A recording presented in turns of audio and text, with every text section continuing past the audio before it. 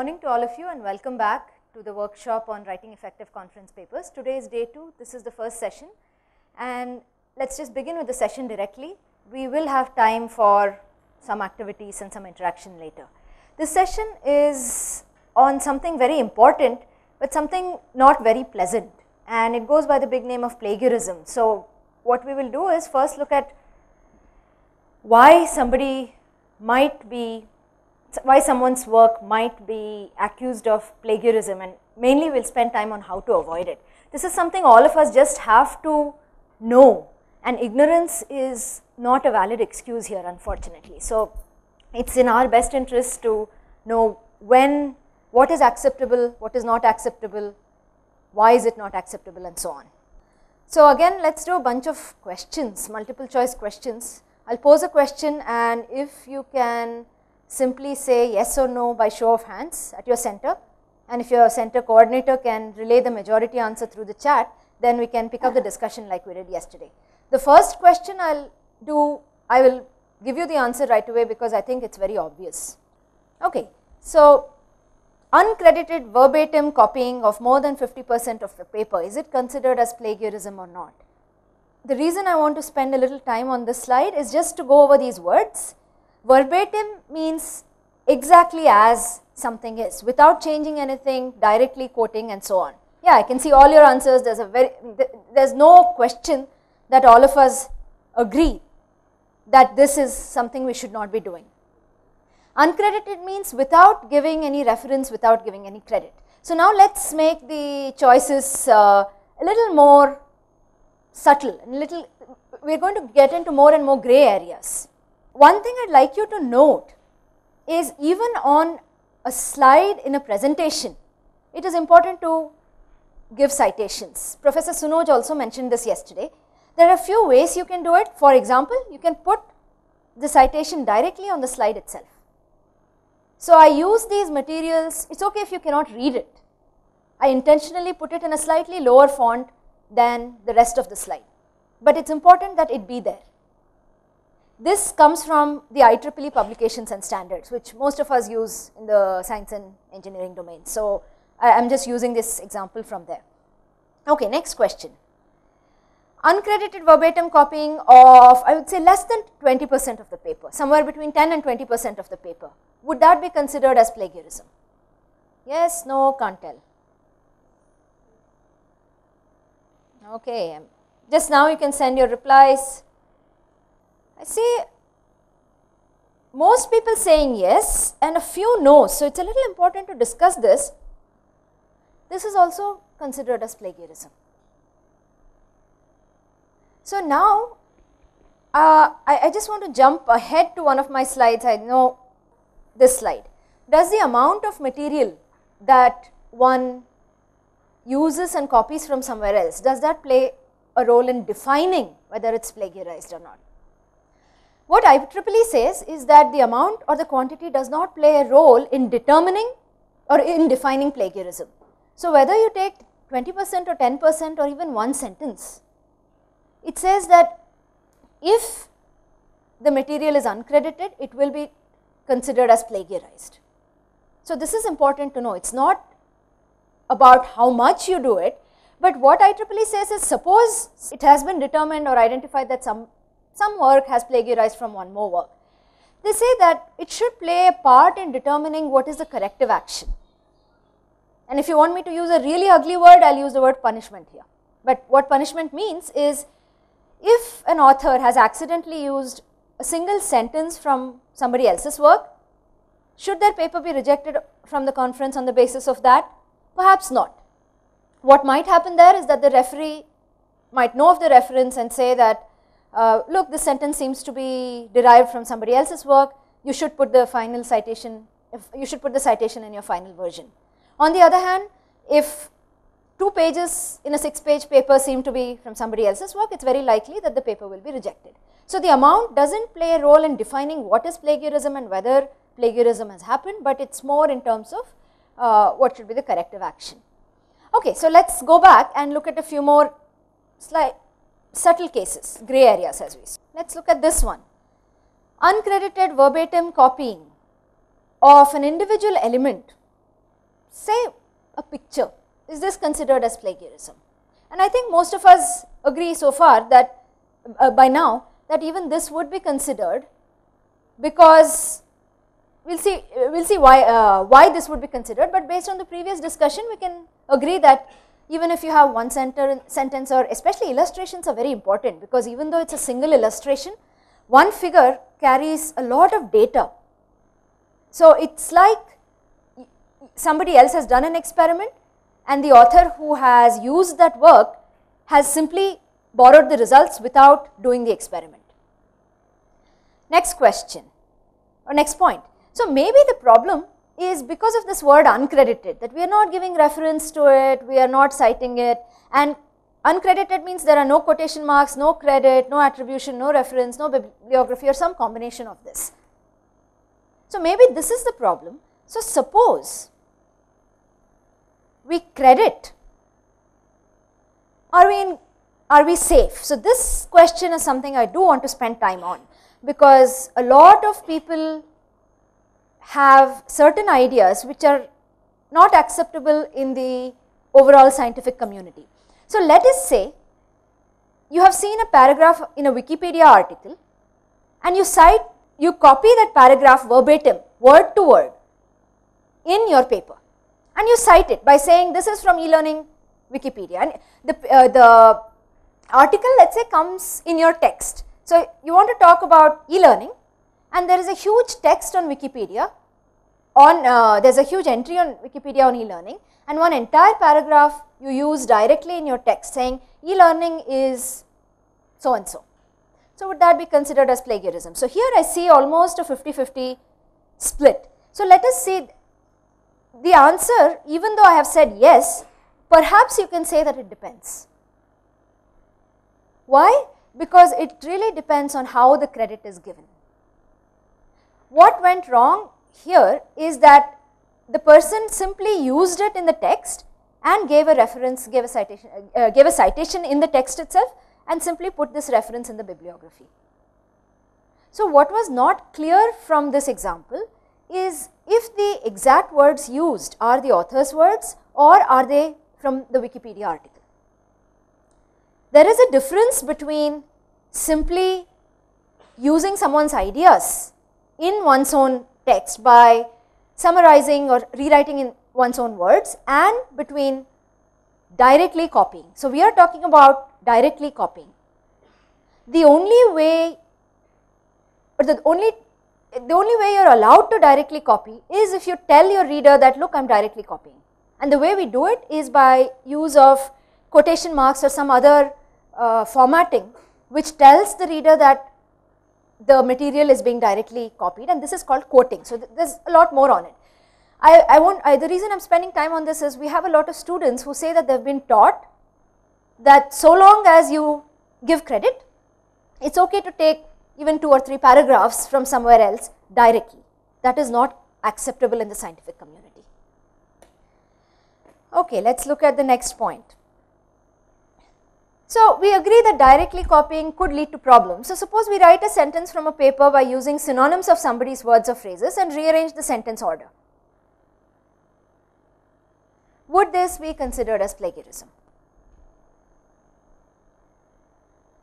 You are not directly copying, but there is one sentence and synonyms are used or there are three sentences and some word order and sentence order is used. Let us see. Here there seem to be yes, no and depends. Let us see what is going on here. Again, if all you do is rewrite a sentence by using synonyms and give credit, even if you give credit, it is considered to be improper paraphrasing and it is a grey area. I am being more strict by saying yes you can say that the answer depends on how much the sentence is rewritten or how well it is rephrased, but really what I what I mean is if you simply substitute one synonym for the other, it is not acceptable. I think we have an example of this some time later. So, we will look at the example. Okay, so some words you need to be familiar with. Right now I will just throw out all these words and in the next few slides we will look at the meanings of most of these. So you will use, you will see the word cite and citation very often and these three words usually go hand in hand references and bibliography. You will see words such as credit and attribute. What it means is that you are letting the reader know that it, the material you are using belongs to somebody else and you have borrowed it. So you are giving credit to the original source or you are attributing your work to the original source. That is what these words mean. These last three uh, quote and paraphrase we will spend the most time on. Verbatim we saw meant directly copying. Okay, let us look at why, what are some reasons people plagiarize and most of these are unintentional. Actually one of the most common ones is this one, I thought it was okay so long as it, I put a citation. To summarize the most common reason why people plagiarize is they said I did not know it was not okay. Unfortunately that excuse won't work. Some other reasons people say is that well I knew I needed to summarize in my own words but I did not know how to do it because English is not my mother tongue. Unfortunately even that excuse won't work. It is okay if you write something in your own words in slightly poor language that is not such a big problem. Later the session right after this Dr. Mukta Atre will tell us how to try to make sure that you do write in uh, how, how to improve your English, she will do a whole session on that. But simply because you think you are not able to do it, you do not have an excuse for uh, directly copying from somebody else. Internet and online resources are again a big problem because the internet belongs to everybody, right? Wikipedia especially, it is a crowdsourcing model, everybody writes on it. So, it is neither mine nor yours nor somebody else's. So, of course, we can use it. That does not work either. Once material is there on the internet, there is a way to tell the reader that this is borrowed from this article on the internet. So, we will do an example of that later. This is a common one and most of us unfortunately fall for this. I did not have the time. I do my references at the end and I ran out of time, the deadline was tomorrow morning and I was busy making sure my figure is okay and my flow is okay and I did not have the time. This is, it is not a valid excuse, but it is something that happens so often. So, we just have to make sure that we do not fall into this trap. So, try to make sure that your citations and references are getting done as and when you write the paper. It is easy for me to say, it is very hard for even me to implement, but you just have to do it. So, the reason I started 2 minutes late is that I had forgotten to put a citation at the bottom of this, the slide I showed you somewhere earlier on one of these slides I had forgotten and I realized that I cannot be doing a session on plagiarism and not put a citation. So, that is something you just absolutely have to pay attention to. Uh, there are some cultural issues here. In the West, in the scientific tradition in the Western countries, plagiarism is illegal, it is regarded as a very serious offense and children as young as I would say third standard are taught what not to do and how to paraphrase and so on. We do not have such a strict tradition in our own country and many other countries do not have this tradition. So, we have to be aware of it, but again now that it is a global world, we are collaborating with each other, we are in the international arena and so on, we just have to make sure that we all follow common norms and common to the scientific community. So, even within the serious academic research community in our country or any other country, it is not acceptable to borrow somebody's words and not give credit. Okay, and there are several challenges here and I will just go through this one by one. It's, you will say well it is so difficult to do this because you have to base your topic, you have to develop an idea based on somebody else. We spoke about this so much yesterday, situate your work in other people's context, uh, tell readers why the problem is important and so on. But at the same time you have to do something new and original. So there is a com competition there. You have to rely on experts' opinions, but you have to improve upon, sometimes even disagree with them. You have to give credit to previous receivers, but at the same time you have to make your own significant contributions and state them. So, there is a tension or a pull in opposite directions between all of the goals that you have to follow uh, or you, have to try to achieve on the right in the right column and in the left column. Let us look at the last one. You have to improve your English because it has to fit the kind of English that is spoken by the scientific community. You cannot or it is not a good idea to use vernacular English, to use uh, shortcuts and uh, lingo as Professor Sunoj mentioned yesterday, but at the same time you have to use your own words and your own voice. Okay. So, what do you do in such cases and is it possible at all to overcome these challenges? Or should we just throw up our hands in the air and say, well, it is not illegal in our country, so let us just do it.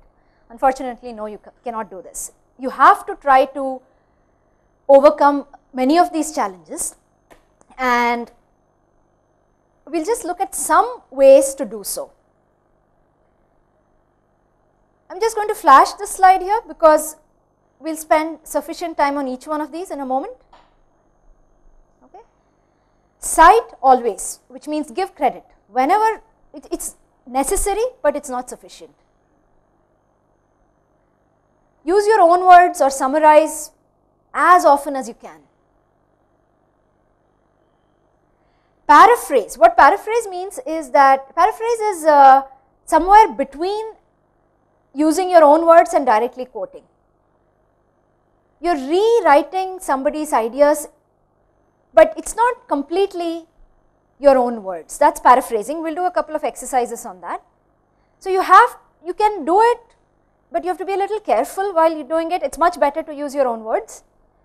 Quoting, directly quoting, especially in engineering and computer science and chemistry and mathematics and physics and whatnot, it is very rarely needed. In the humanities, it is required a little bit more. So, let us look at what each of these is.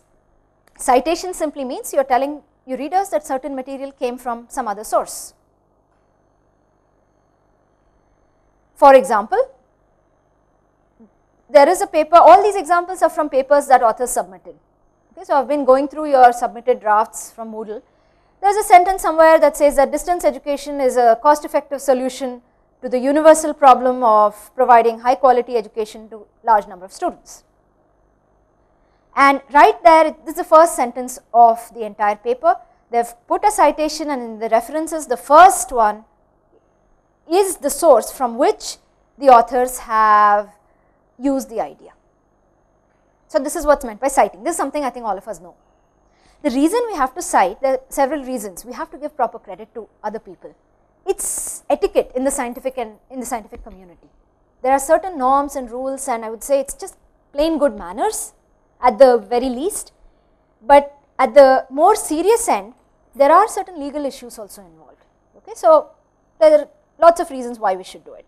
So, anytime you use words or illustrations, data or even an idea from somewhere else, you have to cite.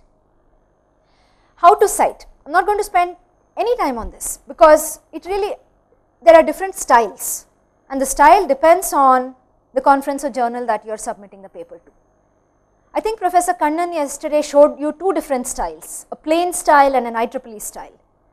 There's so many different styles, it completely depends on the field and the journal and the conference use the style that that particular publishing venue asks you to. But you have to cite in regardless of what style you use. Okay, paraphrase is you put a passage from, you take a passage from a source material, you include it in your work, but before you include it in your work, you convert it in, you rephrase it, you convert it partly in your own words and you cite it to the original you and you also cite the original source. So, we will go to an example and then we will come back to this slide. So, it is a slightly long example. So, I am going to spend 30 seconds keeping quiet so that you can read this. When you paraphrase, let us look at the last paragraph here, how to paraphrase. Read the passage as many times as you need my postdoc advisor used to always say read it at least 3 times. Jot down the key ideas in your own words, what are the central ideas in the original passage, it is a good idea to then completely close the original passage and use your key ideas to write the paraphrase. So, let us identify the key ideas here. I, there are two key ideas that the Antarctic plays an important role in regulating climate and there is this whole process has become fragile due to human activity. So, one acceptable paraphrase is given here. So, again I will just leave it you can read it it is a lot of text. So, try to absorb it these slides will be made available later on Moodle. So, you do not have to worry that you are missing something.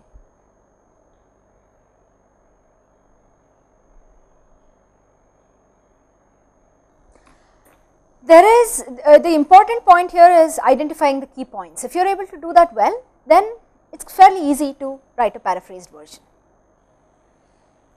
Okay. So, what we will look at next is uh, maybe let us do a quick very brief exercise. I want you to match the following there should have been a 1, 2 and 3 here. The blue is the original paragraph. The big passages on the left hand side are different possible ways of rewriting the original material. What you have to identify is a match the following okay I am not saying that this is equal to this, but which one of these is a legitimate paraphrase, which one is somewhat acceptable and which one is a plagiarized version. So let me ask okay read the original passage first.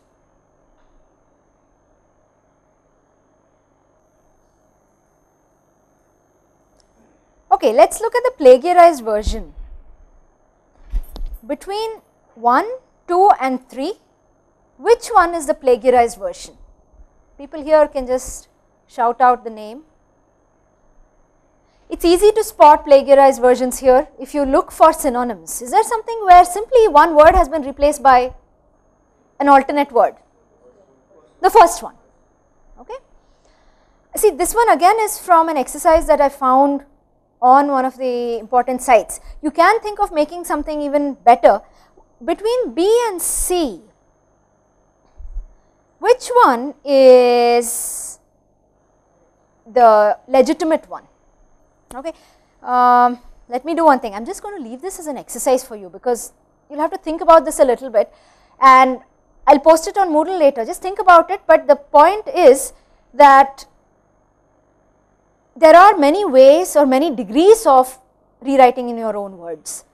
And again sometimes it is a little uh, subjective, what you, one person might think is acceptable may not be acceptable to somebody else and so on.